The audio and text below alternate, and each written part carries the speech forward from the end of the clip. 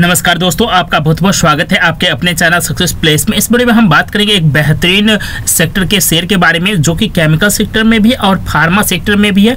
ऐसे बेहतरीन शेयर के बारे में बताएँगे। अगर आपको गिरावट मिलता है तो ज़रूर बाय करना चाहिए। मार्केट में कभी भी करेक्शन आता है, साथ साथ ये स्टॉक अभी भी करेक्ट हो रहा है। मार्केट में करेक्शन आता है तो इसमें और ज़्यादा करेक्शन आपको देखने मिलेगा।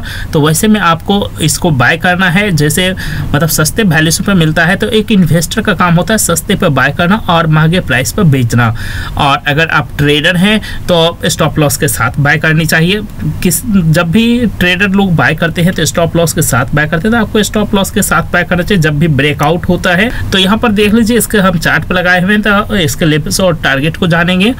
कब आपको मतलब ट्रेडिंग के लिए बाय करना चाहिए, कब आप इन्वेस्टिंग के लिए बाय करेंगे। तो दोस्तों, ये देख सकते हैं ये डेली चार्ट है हमारा, और ये 21 डे डे का 21 डे का डीएमए है।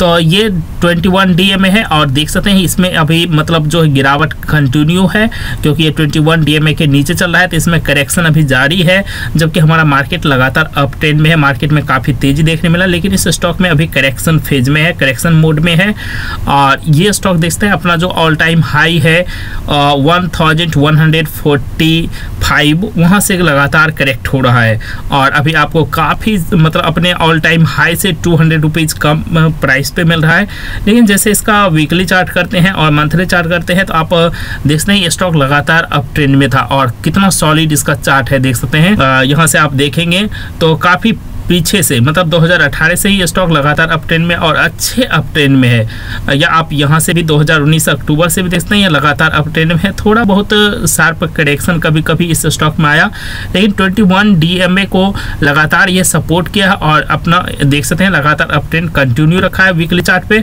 मंथली चार्ट पर देखेंगे तो ये आपको कभी भी वीकनेस दिखेगा ही नहीं इसके चार्ट में। तो मंथली चार्ट का प्रयोग हम तब करते हैं जब हम तीन साल, चार साल, पाँच साल के टाइम होराइजन में देखते हैं। अभी ये स्टॉक्स पिछले एक साल से ही अब ट्रेंड में है और ये स्टॉक फिर से अगर यहाँ 21 डीएमए के सपोर्ट लेता है और इससे ऊपर की ओर मतलब अपना यहाँ से ब्रेकआउट देता है, जो अपना ऑल टाइम हाई है one thousand one hundred fifty rupees मतलब साढ़े ग्यारह सौ रुपये के ऊपर जाता है तो आप यहाँ फिर से पोजीशन बना सकते हैं विथ स्टॉप लॉस तो आप उसका वेट कर सकते हैं। यहाँ पर आर एस आई भी देखते हैं डाइवर्जेंस दिखा रहा है। आर एस आई पे भी आपको डाइवर्जेंस क्लियर है। पूरी तरह से मतलब इसका जो स्लोप है आर एस आई का नीचे की ओर है।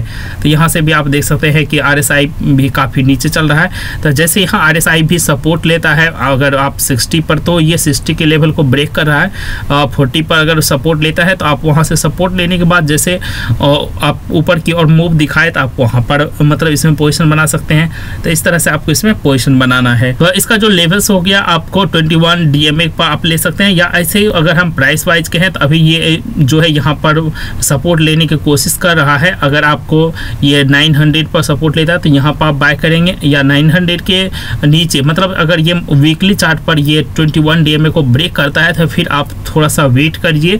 इसके करेक्शन का मतलब जो भी इन्वेस्ट करना चाहते हैं, और थोड़े थोड़े क्वांटिटी में इन्वेस्ट करते रहिए।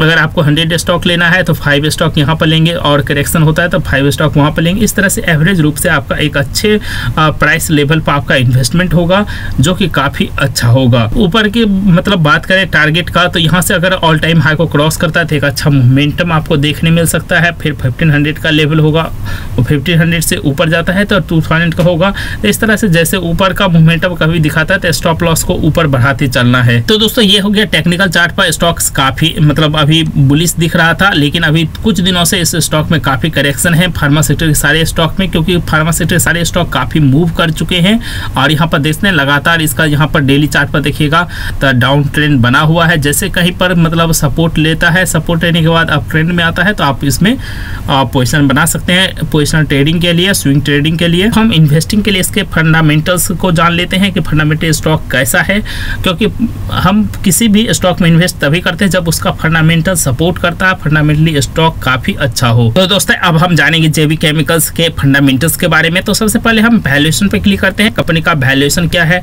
तो कंपनी का मार्केट कैप है सेवन करोड़ मतलब एक छोटा सा मतलब जो कहे स्मॉल कैप कंपनी है। तो स्मॉल कैप कंपनी है और या कह सकते हैं कि मिड कैप कंपनी है, क्योंकि मार्केट कैप थोड़ा स्मॉल कैप से ज़्यादा हो चुका है। डिविडेंड यील्ड की बात करें तो यहाँ पर डिविडेंड यील्ड देख लीजिए 1.17 परसेंट है। डिविडेंड यील्ड काफ़ी है। इतना ज़्यादा ज़्यादा मतलब स्टॉक मूव करने के बाद आपको डिविडेंड काफ़ी शानदार दिख रहा है वन परसेंट के आसपास। और यहाँ पर अर्निंग पर से देखें थर्टी नाइन रुपीज़ है फेस वैल्यू टू का है।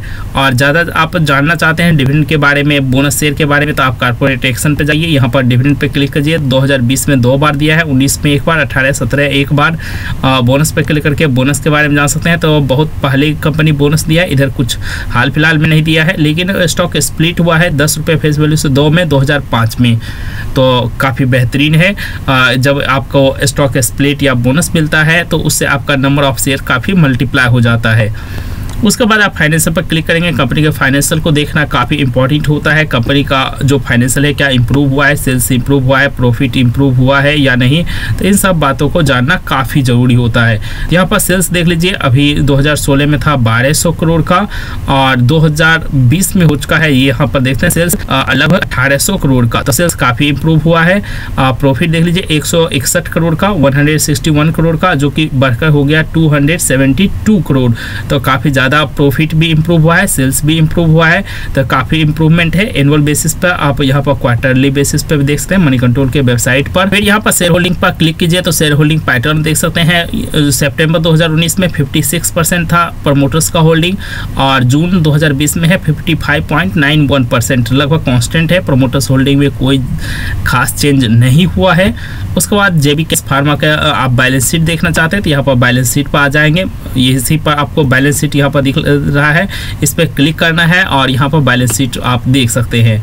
तो बैलेंस शीट पर जैसे यहाँ पर जाते हैं, नीचे देखिए इक्विटी शेयर कैपिटल है कंपनी के पास मात्र 15 करोड़ का और रिज़र्व सरप्लस है 1420 करोड़ का, जो कि लगातार इम्प्रूव हुआ है। माइट्रो इंटरेस्ट कंपनी लगभग निगलिजिबल पे कर ही मात्र two two crore fifty lakh का है तो काफ़ी मतलब कम है जो माइट्रो इंटरेस्ट पे करती है company. Long term borrowing zero है तो मतलब कंपनी वर्चुअली डेट फ्री है, कंपनी के ऊपर काफ़ी कम डेट है तो बैलेंस शीट भी कंपनी का काफ़ी स्ट्रॉन्ग है। तो इस तरह से आप कंपनी के फंडामेंटल को जान सकते हैं टेक्निकल चार्ट रीड कर सकते हैं, कंपनी का क्या लेवल्स है, किस प्राइस पे आपको उसमें पोजिशन ट्रेडिंग करना है मतलब कब कब आपको उसमें इन्वेस्टिंग करने के लिए, कब कितना शेयर आपको बाय करना है, और कितने समय के लिए होल्ड करना है, किस प्राइस तक के लिए होल्ड करना है तो इन सारी चीज़ों को आप टेक्निकल चार्ट की मदद से देख सकते हैं और फंडामेंटल्स आपको सपोर्ट करता है कि कंपनी इन्वेस्ट करनी चाहिए या नहीं। कंपनी जब फंडामेंटल स्ट्रॉन्ग होगा, तभी उसका स्टॉक जो है मूव करेगा। तो दोस्तों, उम्मीद करते हैं वीडियो हेल्पफुल लगा होगा तो वीडियो को लाइक और शेयर ज़रूर कीजिएगा। चैनल पर पहली बार है सब्सक्राइब करके बगल के बेल आइकन को दबा लीजिएगा।